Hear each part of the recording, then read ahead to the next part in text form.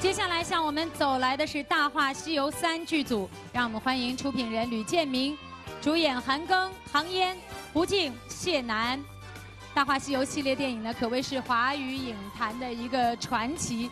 这次刘镇伟导演带来的《大话西游三》，延续了前两部的剧情，片中明星云集，十分的令人期待。韩庚曾经出演过《万物生长》《智取威虎山》等不少具有社会影响的电影。《大话西游三》剧组哈来了，首先要问一下韩庚啊，至尊宝这个角色会不会觉得压力有点大？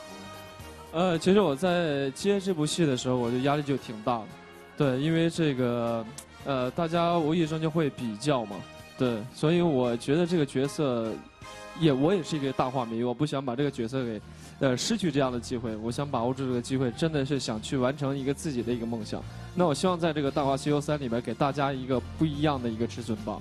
没问题啊，还是要问一下唐嫣，因为无数的中国的少年哈，紫霞仙子一定是初恋了。这次要饰演新一代少年们的初恋，有没有什么特别的设计？因为确实紫霞仙子也是我心中的女神。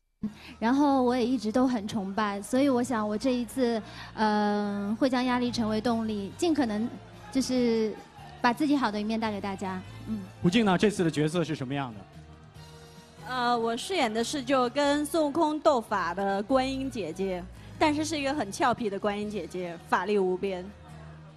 谢楠怎么样？有没有把这个在家打吴京，不是跟吴京学习的这个打斗的这些动作用到影片里面？嗯，倒是第一次来演打戏，因为我演的是铁扇公主，就是从前的小甜甜。哦。对，所以大家看吧，我应该打的还可以。哦，真的吗？非常期待啊！再次的谢谢《大话西游三》剧组今天来到上海国际电影电视节，谢谢你们。